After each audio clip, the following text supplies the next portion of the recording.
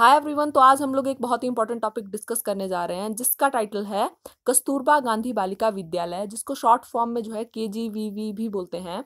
तो सबसे पहले हम लोग देख लेते हैं कि स्कीम को लाया क्यों गया था और इसको लॉन्च कब किया गया था। तो ये जो स्कीम है, इसको लॉन्च किया गया था गवर्नमेंट ऑफ़ इंडिया के द्वारा अगस्त टू में और इस को लाने का मकसद क्या था? इसके तहत क्या बोला गया?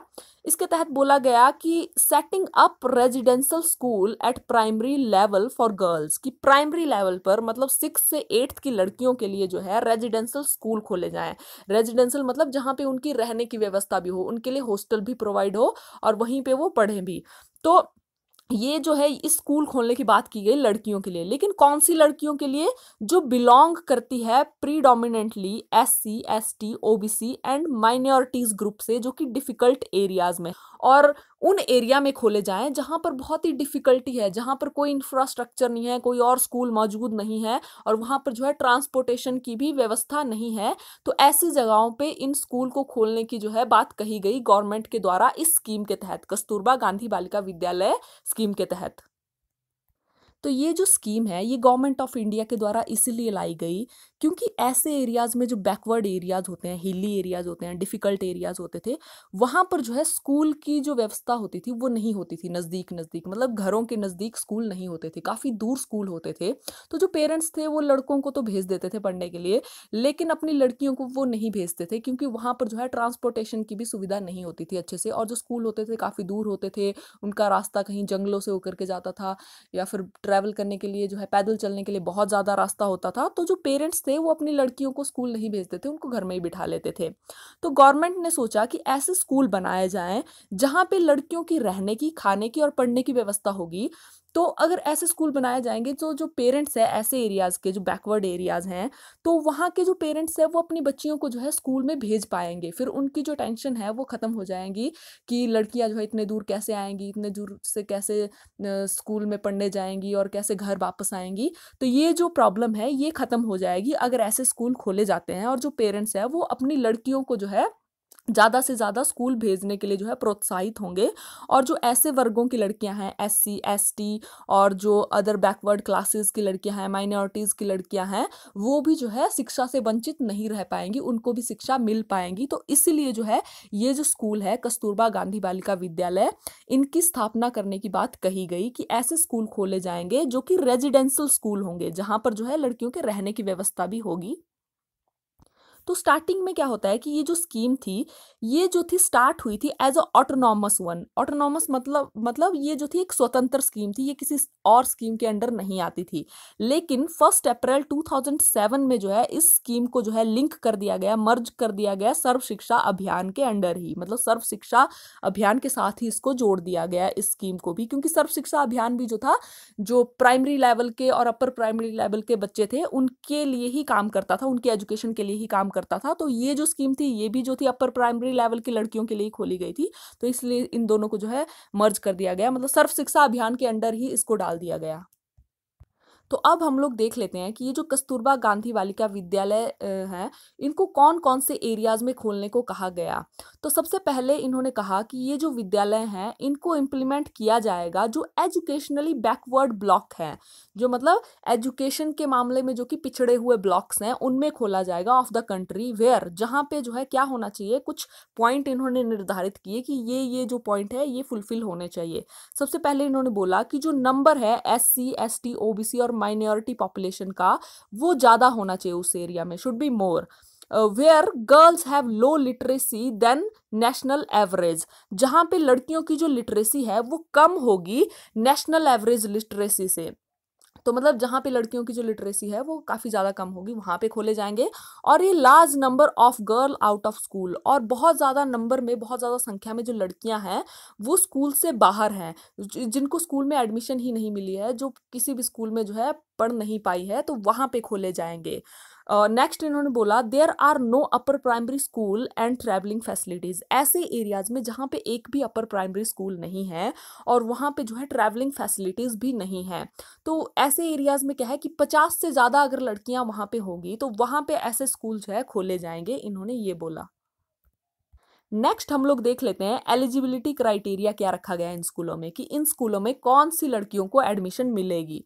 तो यहाँ पर कहा गया कि इस स्कीम के तहत जो है, जो 75 परसेंट सीटें हैं, वो रिज़र्व रहेगी। कौन सी लड़कियों के लिए? जो गर्ल्स, ऐसी लड़कियाँ हैं जो बिलोंग करती है S C, S T, O B C और माइनॉरिटी कम्युनिटीज़ के लिए। तो इन्हीं लड़कियों के लिए जो पचहत्तर परसेंट सीटें हैं, वो रिज़र्व रहेगी इन स्कूलों में। नेक्स्ट इन्होंने बोला, जो रिमेनिंग ट्वेंटी फाइव परसेंट है, वो ऐसी लड़कियों को दी जाएगी जो कि ऐसी फैमिली से बिलोंग करती है, जो कि बिलो पुवर्टी लाइन है। मतलब गरीबी रेखा के नीचे जो लड़कियाँ आती हैं, बहुत ज़्यादा पुअर है बीपीएल फैमिली से जो बिलोंग करती है, उन लड़कियों को जो है ट्वेंटी फाइव परसेंट की सीटें मिलेगी जो बाकी बची हैं। तो नेक्स्ट इन्होंने कहा कि girl student in the age group of ten to fourteen ऐसी लड़कियों को भी मिल सकती है जो कि दस से चौदह साल की उम्र की लड़कियाँ हैं हु आर इलिटरेट जो कि बिल्कुल इलिटरेट है, जिन्होंने आज तक जो है स्कूल में एडमिशन नहीं ली है। तो ऐसी लड़कियाँ, लेकिन उनकी जो एज है वो दस से चौदह हो चुकी है। एंड ड्रॉप आउट या तो उन्होंने ड्रॉप आउट कर लिया है स्कूल से स्कूल छोड़ दिया है प्राइमरी एजुकेशन में ही उन्होंने अपना स्कूल छोड़ दिया है। तो ऐसी लड़कियों को भी एडमिशन मिल जाएगी, लेकिन उनको क्या करवाया जाएगा? उनको जो है made to undergo six month long bridge course उनको एक छः महीने का ब्रिज कोर्स करवाया जाएगा और उस कोर्स के बाद ही उनको जो है और इस कोर्स में जो है उनकी जो प्राइमरी लेवल की एजुकेशन है उसको कंप्लीट करवाया जाएगा और इसके बाद ही, इस ब्रिज कोर्स के बाद ही उनको जो है एडमिशन मिल जाएगी direct six to eighth class में जो है इन स्कूलों में।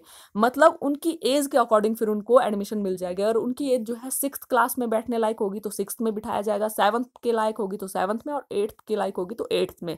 लेकिन उनकी एज जो है दस से चौदह साल के अंदर होनी चाहिए। तो नेक्स्ट अब हम लोग देख लेते हैं कि इन स्कूलों में कौन कौन सी फैसिलिटीज़ प्रोवाइड की जाती है लड़कियों को। तो सबसे पहले तो इन स्कूलों में जो है फ्री टेक्स्ट बुक दी जाती है फ्री यूनिफॉर्म दी जाती है हर साल। उन, इनको जो है स्पोर्ट्स मटेरियल जो है, जो खेलने की सामग्री होती है, वो फ्री में प्रोवाइड की जाती है। इनके लिए जो है हॉस्टल की सुविधा होती है, जहाँ पर ये रहती है। तो इनका जो रेजिडेंशियल के प्रावधान है, वो भी इन्हीं स्कूलों में किया जाता है, इनके रहने की व्यवस्था।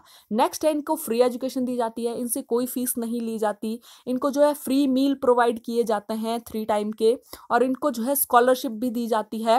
अगर ये जो है फिफ्टी परसेंट से ऊपर मार्क्स लाती हैं तो इनको स्कूलों में जो है स्कॉलरशिप भी प्रोवाइड की जाती है। नेक्स्ट है मेडिकल फैसिलिटीज़ प्रोवाइड की जाती है स्कूलों में और नेक्स्ट है वोकेशनल ट्रेनिंग और गाइडेंस दी जाती है। वोकेशनल कोर्स मतलब जो व्यवसायीकरण के कोर्स होते हैं, ये इसलिए सिखाए जाते हैं ताकि आगे चल के लड़कियाँ जो है, अगर वो जो है आगे ना पढ़ना चाहे तो वो जो है अपने लिए रोजी रोटी कमा सके, अपने लिए जो है कुछ पैसा कमा सके आगे जा के फ्यूचर में। तो इसके तहत जो ऐसे सिलाई, कढ़ाई कंप्यूटर ये सारे जो कोर्स होते हैं, ये सब करवाए जाते हैं लड़कियों को, जो भी उनकी इच्छा हो। नेक्स्ट है अदर नेसेसरी मटेरियल जो भी उनको वहाँ पे रहने के लिए जो मटेरियल चाहिए होता है, वो भी उनको जो है प्रोवाइड किया जाता है, जो इम्पोर्टेंट मटेरियल होता है। तो अब हम लोग इस स्कीम के मेन ऑब्जेक्टिव्स देख लेते हैं कि इस स्कीम को लाने के मेन उद्देश्य क्या थे। तो सबसे पहला तो इनका उद्देश्य था to ensure access and quality education to the girl of disadvantage group of the society जो डिसएडवांटेज ग्रुप है सोसाइटी का मतलब ऐसी लड़कियाँ जो बैकवर्ड एरिया से आती हैं हिली एरिया से आती हैं, जो जिनको एडमिशन ही नहीं मिल पाई है स्कूल में तो उन लड़कियों के लिए जो है ये जो स्कीम है, ये मेन चलाई गई ताकि उनको जो है, जो डिसएडवांटेजेस ग्रुप है, उनको जो है जो क्वालिटी एजुकेशन है, वो पहुंचाई जा सके, उनको दी जा सके, इसलिए स्कीम लाई गई थी। नेक्स्ट है ensure greater participation of girl in education लड़कियों की जो भागीदारी है, वो एजुकेशन में जो है, और ज़्यादा इंक्रीज हो सके, और ज़्यादा जो लड़कियाँ हैं, वो पार्टिसिपेट करे, वो जा कर के स्कूल में एडमिशन ले, और जो है, ज़्यादा से ज़्यादा लड़कियाँ जो है, पढ़ सके, और सारी लड़कियों को जो है एजुकेशन प्रोवाइड करवाना जो है, इस स्कीम का मेन उद्देश्य था।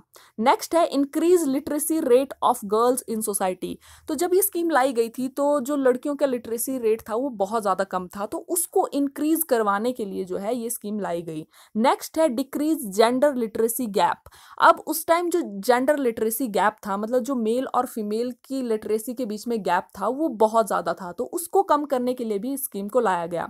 नेक्स्ट है रिटेंशन ऑफ़ गर्ल्स लड़कियों का जो है रिटेंशन हो सके ज़्यादा से ज़्यादा स्कूल में। मतलब लड़कियाँ जो है एडमिशन तो लेती थी प्राइमरी एजुकेशन में, लेकिन वो क्या है, बीच में ही उसको छोड़ देती थी ड्रॉप आउट कर लेती थी किसी कारण से।